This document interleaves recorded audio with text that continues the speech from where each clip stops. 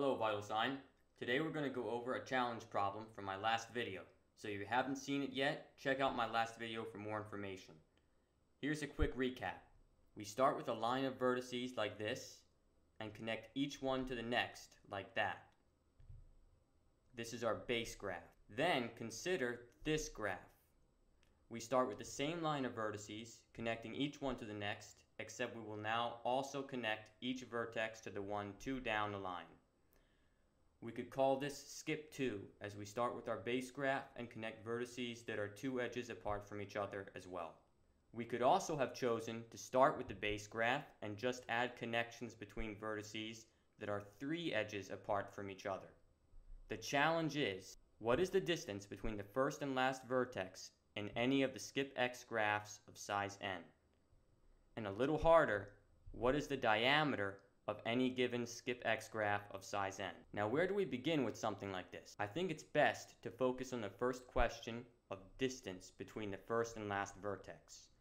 It's a good idea to draw some skip x graphs of various sizes and skip lengths and calculate their distances. Once we have some observations, we'll be able to figure out the pattern. Let's begin. How about our base graph? What is the distance between the first and last vertex of our base graph? Well, in this case, it's just the number of edges in the graph, which is one less than the number of vertices. In general, this is the number of edges in the graph and can be represented visually like this.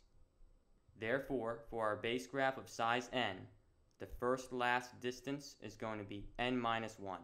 How about for skip 2 graphs?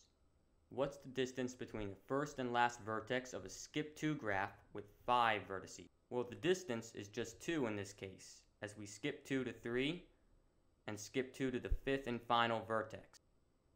What about a skip 2 graph with 6 vertices? Well, taking the biggest steps we can, we can get to the fifth vertex in 2 steps. But there isn't any way to get to the sixth vertex in 2 steps. Even if we go forwards one step, to get our big steps in line with the sixth vertex, we're still adding one step to the path no matter what we do. So the distance between the first and sixth vertices is 3. Now consider the general skip 2 graph of size n. If n is odd, or in other words, if n is 1 mod 2, we can reach the last vertex from the first vertex in n minus 1 over 2 steps. You can think of it as taking the difference between an odd number and 1, and then dividing by 2 to find the number of times 2 must be added to 1 to get our original odd number. If n is even, then according to our last slide, we can get to the penultimate vertex in n minus 2 over 2 steps, treating it as the last vertex in a graph of n minus 1 or odd vertices. Now to get to the ultimate vertex, takes another step no matter what we do. So if n is even, the distance between the first and last vertex is just n over 2 minus 1 plus 1, or n over 2. Next, consider the skip 3 graph of size 7. Skipping 3 from 1, we can get to the fourth vertex in one step, and then skipping 3 again, we can get to the seventh vertex in just two steps. What do these numbers 1, 4, and 7 have in common? They are 1 mod 3. So all numbers 1 mod 3 can be reached by the first vertex just by taking the biggest possible steps our graph allows. Therefore, if n is 1 more than a number divisible by 3, we can reach it in some number of skip 3 steps. To get to the 7th vertex, it took us 2 steps, and to get to the 4th vertex, took 1 step. So it seems promising that n minus 1 over 3 would be the expression we're looking for if n is 1 mod 3. So why does n minus 1 over 3 work? We are subtracting 1 from a number n that is 1 mod 3 to get the number, say, s that was added to 1 in order to get n. And s was added to 1 in sets of 3's. So by dividing by 3, we get the number of skip 3 steps needed to get us from our first to last vertex. So what about a skip 3 graph of size 8? This time, n equals 8 equals 2 mod 3. Well, in this case, we know that we can get to the penultimate vertex in n minus 2 over 3 steps found by treating the seventh vertex as the last vertex in a 1 mod 3 graph. And how about a skip 3 graph of size 9? This time n equals 0 mod 3. Again, treating the seventh or third to last vertex as the last vertex in a 1 mod 3 graph, we find that we can get to the third to last vertex in n minus 3 over 3 or n over 3 minus 1 step. Then we could take two steps to the right to give us n over 3 plus 1 steps, or one step backwards and a skip 3 leap forward, also giving us n over 3 plus 1 steps. However we do it, we can't get any shorter than that. So when n is 0 mod 3, the distance between the first and last vertex is n over 3 plus 1, or in this case, 4. Now let's just examine one more type of graph, skip 4 graphs. So for n equals 5, or 1 mod 4, we can get to the last vertex in one step, or n minus 1 over 4 steps. I encourage you to think about why this is true. For size n equals 6, or 2 mod 4, we can get to the second to last vertex in one step, or the last vertex in two steps which is n minus 2 over 4 plus 1. For n equals 7, or 3 mod 4, we can get to the third to last vertex in one step, or the last vertex in three steps, which is n minus 3 over 4 plus 2. And finally, when n equals 8, or 0 mod 4, we can get to the fourth to last vertex in one step. But then watch what happens. We can step backwards and then skip 4 ahead to get to the last vertex. This means that we can get to the last vertex in n over 4 plus 1 steps. Or in this example, 3 steps. And if you think about it, this happens for any skip x graph where n is 0 mod x. We can always get to the x to last vertex in n minus x over x step, or n over x minus 1 step. And then we can always take one step backwards to get in line and then take one skip forwards, meaning that the last vertex is always reached in n over x plus 1 steps for a skip x graph of size n. Interesting. Now I'm going to do this for skip 5 through skip 10. We can't do them all in video because it would take too long, so I'll do it and then show you the results. I invite you to pause the video and work out a few or all of these for yourself. So here are the results for skip x graphs of size n where n is 0 mod x through x minus 1 mod x. An interesting pattern has emerged in the constants we add to the fraction term. Let's examine why this pattern arises. It looks like we always have this n minus something over x term, and then a constant, and the constants go up until a certain point, and then go back down, depending on the value of n mod x. Here's the intuition for why this is. In a skip x graph of size n, where n is a mod x, you can always get to the last 1 mod x vertex in the graph in n minus a over x steps. Let's examine this in a skip 6 graph. In a skip 6 graph of size n, we can always get to the last 1 mod 6 vertex in n minus a over x steps, or in this case, one step. If that happens to not be the last vertex, as is the case in this example, then we can proceed in two ways to reach the final vertex from the final 1 mod 6 vertex. 1. We can go right from the last 1 mod 6 vertex. Or 2. We can go left from the vertex until we are able to skip forward to our final vertex.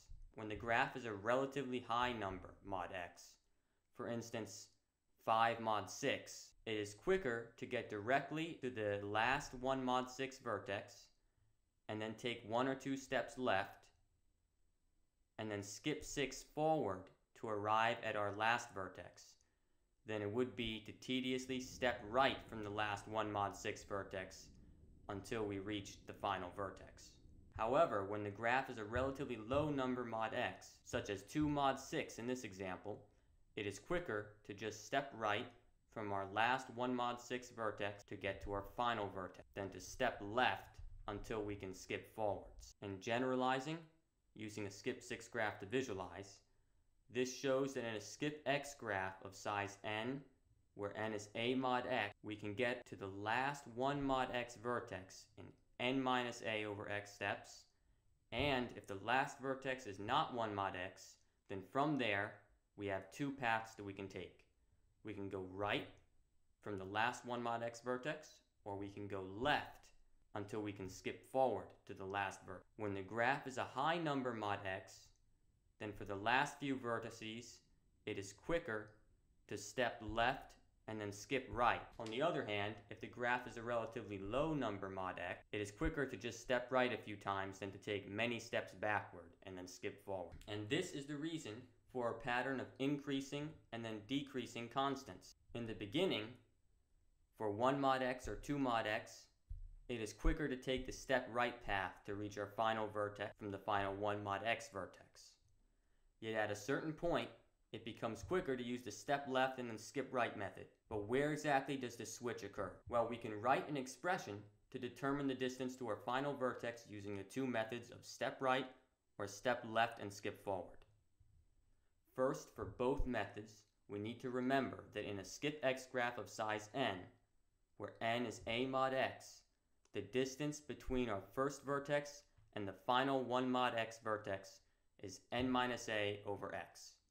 We can call this value c. Now using the step right method to reach our last vertex, the distance is c plus a minus 1, as a minus 1 is just the number of times we need to step right upon reaching our last 1 mod x vertex.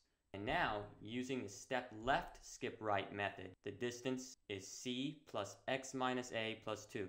This is because once we travel c, or 1 in this case, we need to take one step to get to the 0 mod x vertex, and then x minus a, or 6 minus 2, steps to get to the vertex that is a mod x, from which we can then skip right, taking one more step to get to the last vertex.